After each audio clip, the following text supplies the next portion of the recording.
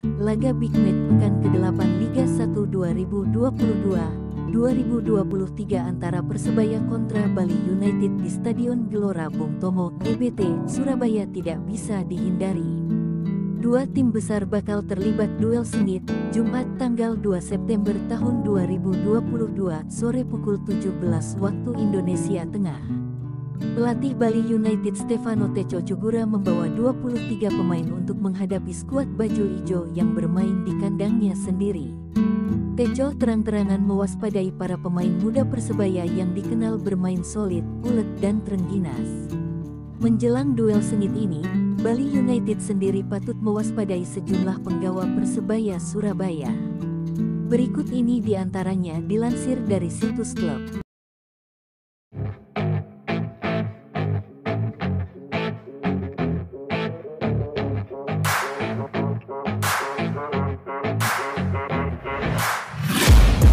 Taking shots at the enemy. I'm gonna make it to the top, leave a legacy. If I got something to say. 1. Andre Cobra Octaviansyah Berusia 19 tahun, Andre Octaviansyah telah menunjukkan permainan solid di lini tengah Persebaya. Berduet dengan Alwi Slamet di posisi gelandang bertahan, pemilik nomor punggung 8 itu tampil mengesankan melawan PSS Sleman tanggal 27 Agustus tahun 2022.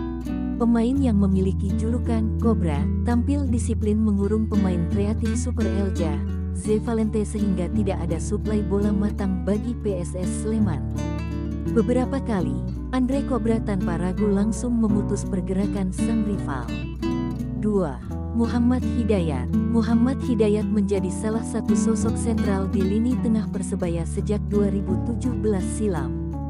Mampu bermain sebagai gelandang bertahan maupun gelandang tengah, pemilik nomor punggung 96 ini tampil solid sebanyak 7 laga bersama Green Force. 3. Rizky Rido Bek tengah Persebaya Rizky Rido Ramdhani menjadi sosok sentral di jantung pertahanan Persebaya. Rizky Rido tidak pernah absen dalam tujuh laga terakhir Persebaya. Laga Persebaya versus PSS Sleman, Rizky Rido membantu tim baju hijau Nirbobo. Sepanjang 90 menit bermain, Rizky Rido melakukan 11 kali sapuan untuk menghalau serangan Super Elja. Berkat performanya tersebut, Rizky Rido masuk ke dalam susunan BSC Liga 1 pekan ke-7 bersama kompatriotnya, Alwi Slamet. 4. Marcelino Ferdinand Gelandang muda Marcelino Ferdinand baru mendapat kesempatan turun lapangan hijau dalam empat laga terakhir bersama Persebaya. Persebaya Aci Santoso baru memainkan pemain timnas U19 ini setelah sembuh dari cedera hamstring. Selepas pulih, pemain berusia 17 tahun itu langsung kembali menjadi andalan di skuad baju hijau. Pertandingan pekan ke-6 menghadapi PSIS Semarang menjadi ajang Marcelino membuktikan kualitasnya.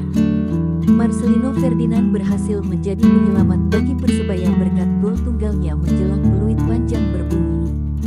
Sepakan kerasnya dari luar kotak penalti sukses menghujam gawang PSIS Semarang yang dikawal oleh Aldila Redondo.